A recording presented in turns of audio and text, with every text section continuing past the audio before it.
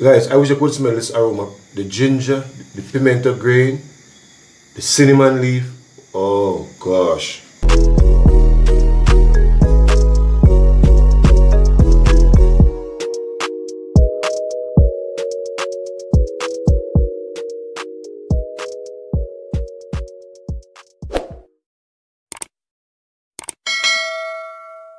What's up, what's up guys? Welcome back to another one.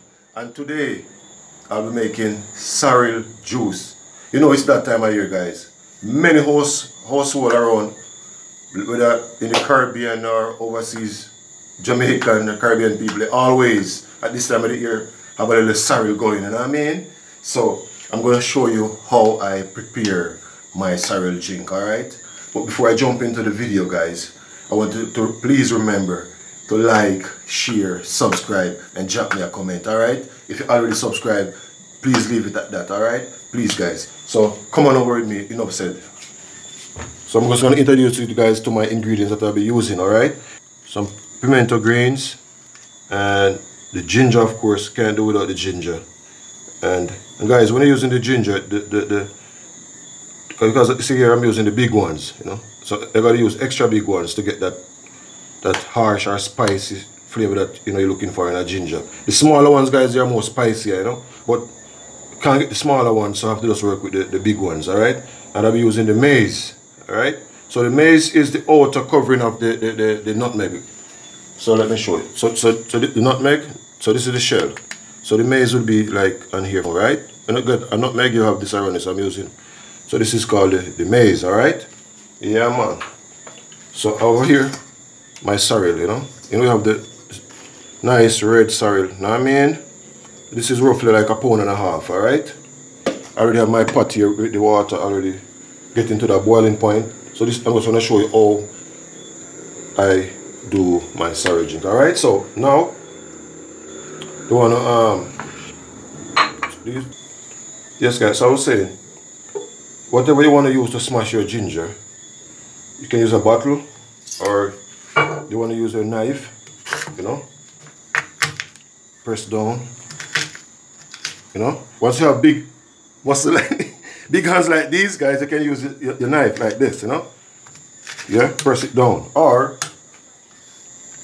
or you want to use a use your bottle you know? You want to use your bottle? Whatever way easy for you guys all right? So I'm just showing you both ways all right?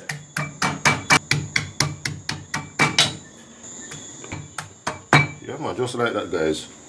As soon as you hit the water the one it relieves release that um that flavor you know? Alright guys so as soon as I completed smash all these ginger or, or almost smash these ginger I get back to you on the other side alright Thanks for watching guys. Yes guys, so I'm at the end of it now. Alright? Like I said before, you can use a knife if you want, you can use this, but I, I show you both method, but I prefer using the, the, the bottle. I use a knife, cut them in half, and then I beat it with the bottle. Way easier.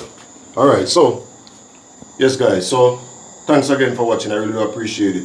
So now, I'm going to move over to my pot here. So so this is Mr. Do It or mommy version and we just add to it and realize yo it thing up, you know what I mean? And we decided I'm gonna share with you guys, alright? So pot over here now. So my, water is like at a boiling point now, alright? So I'm, just gonna pop all these stuff in it now. Right?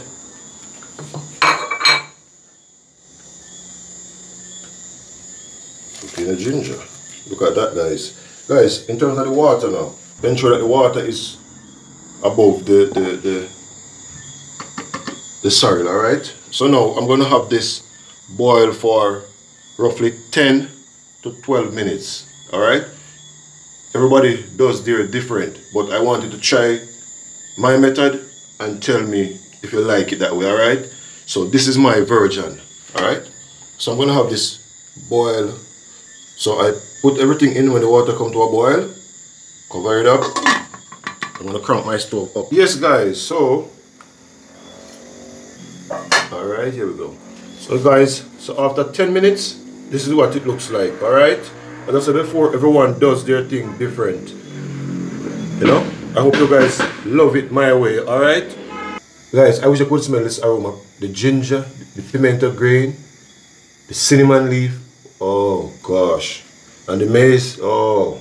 So now, at this time, guys, you want to put the sorrel petals in. You know what I mean? Yeah, man. Look at this. Yeah. Woo. Yeah, man, just like that, you know. I didn't want none to waste, I'm taking my time, alright? Then, ensure that they're all covered, you know what I mean? Are you showing them clearly? Let's see, right. So this is what you want to see, guys.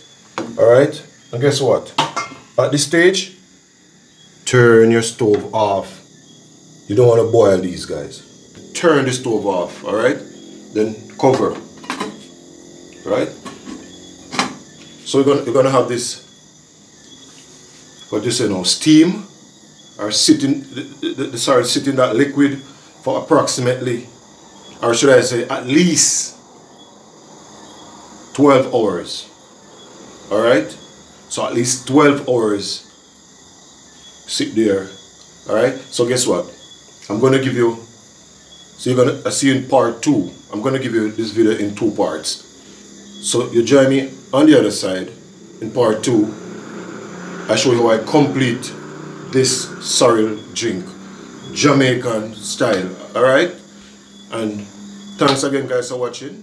I really do appreciate it. And please remember to like, share, subscribe, drop me a comment and tell me about it. Alright?